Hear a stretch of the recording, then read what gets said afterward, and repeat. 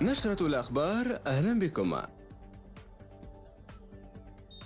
حقق فريق النصر فوزا ثمينا على التعاون بثلاث أهداف لهدف واحد جاءت جميعها في الشوط الأول للمباراة التي احتضنها ملعب بنينا. تقدم النصر مبكرا بالنتيجة بهدفين نظيفين أمضاهما إدريس الضرات وإسلام الغناية. ثم تمكن التعاون من تدليل الفارق بهدف فرج عبد الحفيظ من ركلة جزاء. ثم تمكن الموريتاني محمد إلاهيا من تعزيز تقدم فريق النصر بإحراز الهدف الثالث. بهذا الفوز رفع النصر رصيده إلى النقطة الثانية والأربعين في الترتيب الثاني مناصفة مع الأخضر بينما تجمد رصيد التعاون عند عشر نقاط في الترتيب العاشر.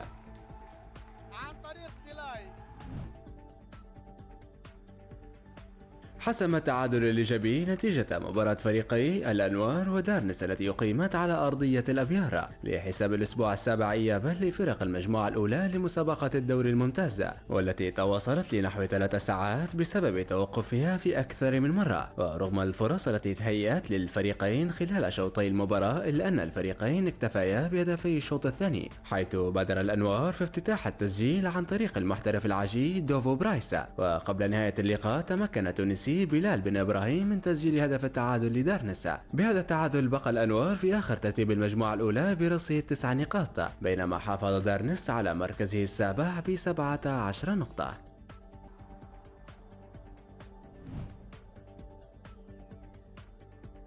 تمكن فريق الأهلي ببنغازي من تدارك تعثره الأخير أمام الأخضر ونجح في قلب تأخره أمام شباب الجبل إلى الفوز بهدفين لهدف على ملعب البيضاء لحساب منافسات الجولة الثامنة عشر للمجموعة الثانية بالدوري الممتاز. افتتح أنس الورفة للنتيجة لشباب الجبل في الشوط الأول. ثم نجح عبد الله العرفي في إدراك التعادل مع بداية الشوط الثاني من علامة الجزاء. قبل أن ينجح أبو بكر بوعقيلة في إحراز هدف الفوز الثاني لفريق الأهلي بنغازي. هذه المباراة التي انتصر فيها الجزارة هي الأولى للمدرب المؤقت للفريق التونسي أنيس بوجلبان والذي يقود الفريق إلى حين وصول المدرب الجديد. بهذا الفوز قاد المدرب التونسي المؤقت أنيس بوجلبان فريقه الأهلي ببنغازي إلى النقطة السابعة والأربعين في صدارة المجموعة الأولى بينما توقف رصيد شباب الجبل عند النقطة السادسة عشر في الترتيب الثامن. حكم اللقاء السيد أحمد وفي منافسات المجموعة الثانية حسم التعادل السلبي مباراة المدينة وضيفه الخمسة. في المباراة التي جمعتهما على ملعب طرابلس ضمن الجولة الثامنة عشرة. بهذه أضاف فريق المدينة النقطة العشرين لرصيده في المركز الثامن بينما لم ينجح الخمس في وقف نزيف النقاط ليضيف النقطة الواحدة والعشرين إلى رصيده في الترتيب بالمركز السابع.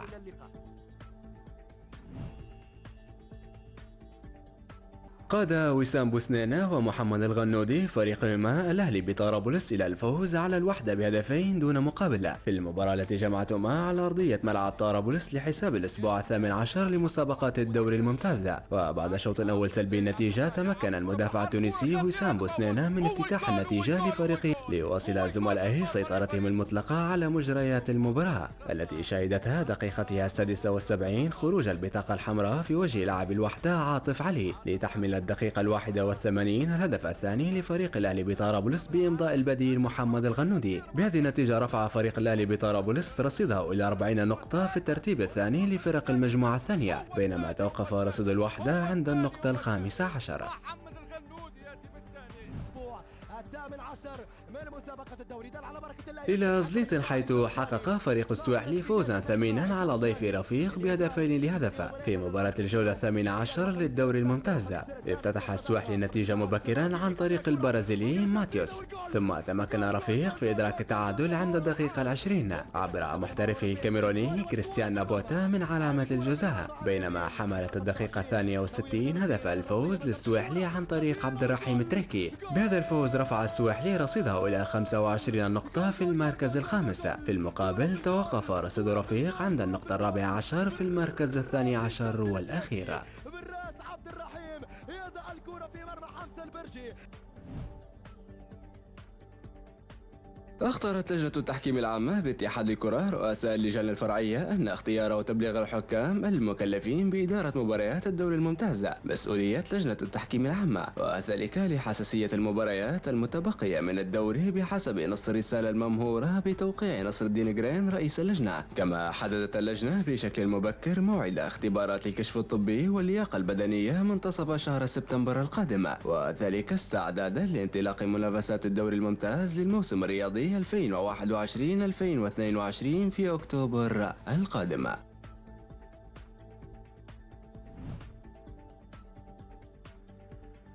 تنطلق الثلاثاء القادم مباراة الأسبوع الأول لمسابقة الدوري السداسي لكرة القدم داخل الصالات للموسم الرياضي 2020-2022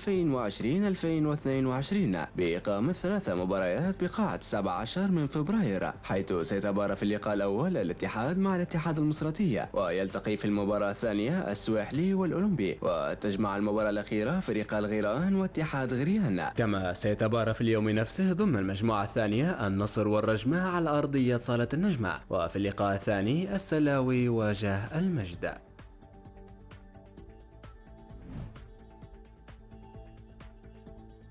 أعلن الاتحاد العربي لكرة القدم. تأجيل إقامة النسخة الرابعة من بطولة كأس العرب للمنتخبات تحت 17 عاما بشكل مؤقت بعد توصيات من وزارة الصحة المغربية بخصوص الإجراءات الاحترازية ضد تفشي الفيروس المستجد. البطولة كان من المقرر إقامتها في المغرب خلال الفترة من التاسع والعشرين من يونيو حتى الرابع عشر من أغسطس المقبل بمشاركة 16 منتخبا. وكانت القرعة قد وضعت منتخبنا الوطني في مواجهة نارية في المجموعة الثانية مع منتخبات الجزائر والإمارات وجيبوتي.